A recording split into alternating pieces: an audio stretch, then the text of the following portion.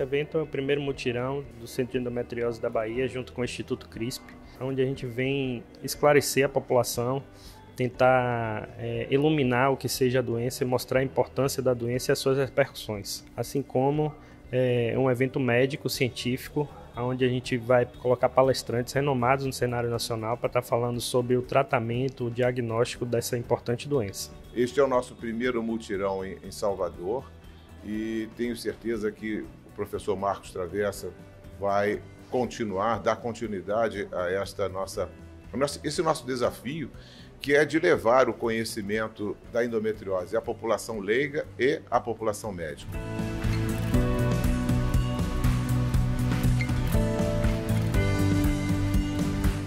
Endometriose é uma doença muito comum, mas às vezes ainda subdiagnosticada. E a gente da área de imagem precisa divulgar mais o, o exame de endometriose com preparo intestinal para que o médico saiba o porquê de estar tá solicitando esse exame e a importância desse exame para a paciente no tratamento dela, seja clínico ou seja cirúrgico.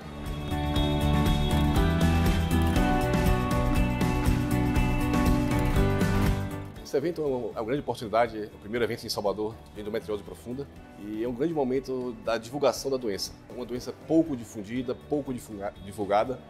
onde os pacientes, através da,